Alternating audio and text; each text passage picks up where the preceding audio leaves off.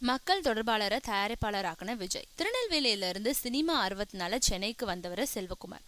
பல இடங்கள்ல வேலை கலைஞ்சு கடைசியா ஜெமினி பத்திரிகையில வேலை கிடைச்ச அனுபவம். அங்க சப் எடிட்டரா பதவி உயர்வு பெற்று தன்னோட பணியை திறம்பட செஞ்சு காட்டினாரு. அந்த சமயத்துல தான் விஜய் அப்பாவோட நட்பு கிடைச்சது. விஜயோட வட்டத்துக்குள்ள உள்ள வந்தவர் ரசிகன் நாளைய தீர்ப்பு போன்ற படங்கள்ல தன்னோட பங்களிப்பை காட்டியிருக்காரு. விஜய் சிம்ரன் நடிச்ச ஒன்ஸ் மோர் படம் மூலம் முறைப்படி பத்திரிகை மக்கள் தொடர்பாளரா அறிவிக்கப்பட்டார். கிட்டத்தட்ட விஜய் நடிச்ச இருபத்தஞ்சு படங்களுக்கு மக்கள் தொடர்பாளரா இருந்திருக்காரு. எல்லாருக்கும் சினிமாவில் ஒரு கனவு இருக்கும். எப்படியாவது விஜயை வச்சு ஒரு படம் இயக்கணும் இல்லைனா விஜயை வச்சு ஒரு படம் தயாரிக்கணும்னு. செல்வகுமாரவுக்கு சொல்ல தெரியாத ஆசையும் கனவும் அடிமனதுல ஆழமா இருந்துக்கிட்டே இருந்தது. ஆனா அவரே எதிர்பார்க்க முடியாத வகையில் விஜய் ஒரு நல்ல காரியம் செஞ்சுருக்காரு.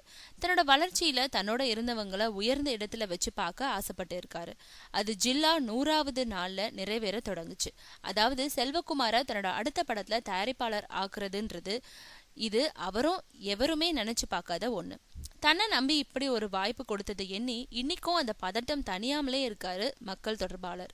உலக அளவில் தன்னோட மக்கள் தொடர்பாளருக்கு தயாரிப்பாளராக்கிய பெருந்தன்மை விஜய்க்கு மட்டுமே இருக்கு. என்னை இப்படி உயர்ந்த இடத்துக்கு கூட்டி போன விஜய் சாருக்கு வெறும் நன்றியை மட்டும் ஒரே வார்த்தையில சொல்லிட முடியாது. வாழ்நாளில் எப்பவும் நான் கடமைப்பட்டிருக்கேன்னு சொல்லியிருக்காரு கண்ணீர் மல்க. உழைப்பால தன்னோட கடமையில சிறப்பாக பணியாற்றி இன்னைக்கு விஜய் மூலம் தயாரிப்பாளராகி இருக்கும் செல்வகுமாருக்கு ஒரு சல்யூட்.